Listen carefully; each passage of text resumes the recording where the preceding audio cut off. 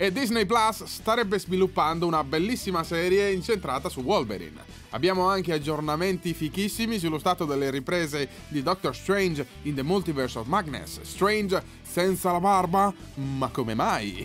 Vi ricordo che questo video qui è sponsorizzato da Epicly Shop, il sito per il merchandise dei veri Skrull. Per ottenere un bello sconto del 5% all'acquisto digita Aven di Avengers. Lo so vuoi un incentivo. Link in descrizione. Sigla! Io sono Likes. The Channel. Diverse settimane fa, varie voci suggerivano che Doctor Strange in the Multiverse of Madness era vicino alla fine delle riprese. Ora ci confermano che siamo nelle settimane finali, o nella settimana finale, per questo sequel. La scorsa, però. e non è colpa mia se ci sono così tanti trapellamenti di Spider-Man e i video qua devono fare la fila. Al lavoro, gente! Di questo film è trapelato pochissimo o niente e per di più ragazzi non abbiamo avuto modo di vedere Benedict Cumberbatch e Elizabeth Olsen nei loro rispettivi ruoli a spalleggiarsi oppure a scannarsi perché non si sa ancora soltanto in questi giorni una misera immagine di Cumberbatch senza la barba uno Strange rasato follia pura vero? È stato il signor presidente Kevin Feige a confermare che siamo vicinissimi al completamento delle riprese di questo sequel. In una recente intervista con i principali attori e creativi coinvolti nella serie The Falcon and the Winter Soldier, Feige ha dato questa notizia facendo una menzione molto speciale alla Olsen. Eh, lui ha accennato al fatto che questi mesi sono stati veramente intensi per lei a causa di tutte le riprese che ha dovuto affrontare.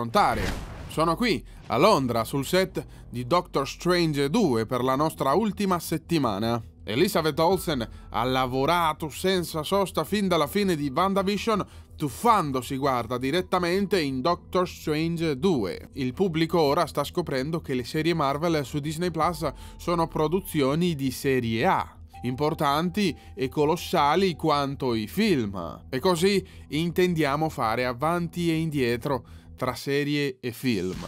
La mia domanda ora è visto anche eh, il trailer rilasciato di Shang-Chi, una ficata secondo me. La mia domanda è quando avremo il nostro assaggino di Multiverse of Madness o almeno un piccolo sguardo al film. Niente trapelato su questo film, pensateci. Quelli che hanno lavorato dietro le quinte sono dei veri professionisti. Ma pazienza ragazzi, non c'è ancora la campagna promozionale attiva per questo film, quindi sembra che dovremmo aspettare per avere un assaggino di Strange. Ma perché mai si è tagliato la barba Benedict Cumberbatch? Al momento è molto difficile mm, delineare perché mai eh, Benedict Cumberbatch non ha la sua barba uh, strange, la sua barba magica, la sua barba stregata, la sua barba suprema, ma è possibile, molto possibile che alcune scene del film contengano dei flashback della sua vita precedente, quella in cui era un semplice chirurgo molto molto molto presuntuoso. E che non mi sorprende, parliamo di un film che ha come titolo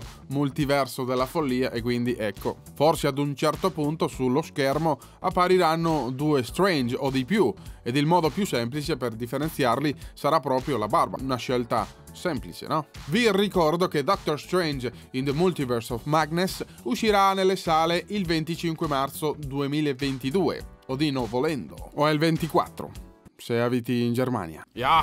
Ora parliamo di Wolverine. Per ora non sappiamo assolutamente quando vedremo quell'uomo nel Marvel Cinematic Universe, ma probabilmente introdurranno il concetto dei mutanti lentamente prima di introdurre qualsiasi altro uomo X. Voi ve lo ricordate il 2008? Sì, sono vecchio. Eroi, ehi train, bello! I cinecomics erano sulla cresta dell'onda, non si parlava d'altro, grazie alla trilogia di Sam Raimi e ai sopravvalutatissimi mutanti quelli della Fox. Tra l'altro hanno potuto approfittare del fatto che non esisteva una grandissima concorrenza. Film come Iron Man a malapena davano i primi passi nell'industria, niente Captain America e Thor, figuriamoci. Vabbè, il primo capitolo di Thor poteva pure esistere perché tanto non è che uno spettacolo, eh. Il pubblico, a dire il vero, non aveva nulla in mano con cui confrontare queste produzioni. Per questo penso che la saga di Xavier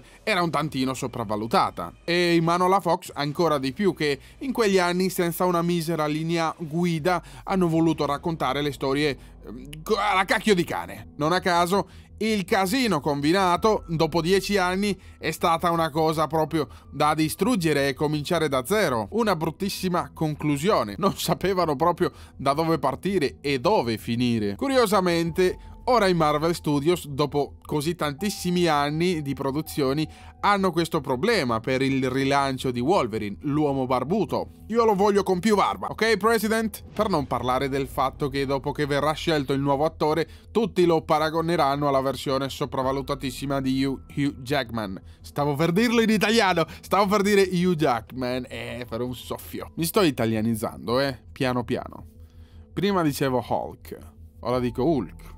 Sono stato bravo. Sono stato bravo, vero capo bianco? Tu mette like e tu mette iscrivi e io mangio tutte le H che tu vuoi e parlo come te capo. Non leggo il copione, il copione legge me. Il piano attuale dei Marvel Studios è di rendere Wolverine molto più simile a quello dei fumetti, ragazzi.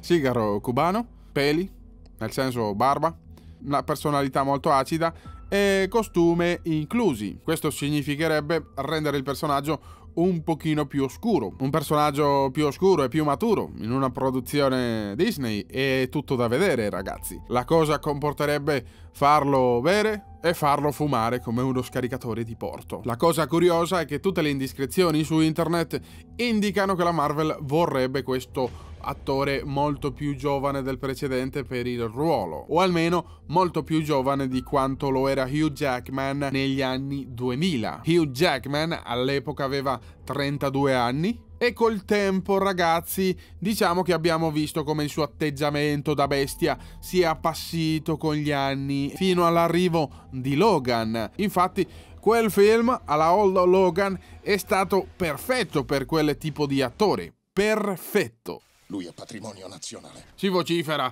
da giorni su una possibile grandissima novità su Wolverine nel mondo dei cinecomics. Questa è un'indiscrezione da prendere con le pinze, come sempre. A cosa mi riferisco, ragazzi? I Marvel Studios starebbero sviluppando una serie dedicata tutta quanta a Wolverine, ovviamente per Disney Plus. Si dice che sarebbe un'antologia basata sul personaggio, ma ti prego, che sarebbe un'antologia basata sul personaggio in modo che ogni stagione eh, di Wolverine si concentri su una storia specifica.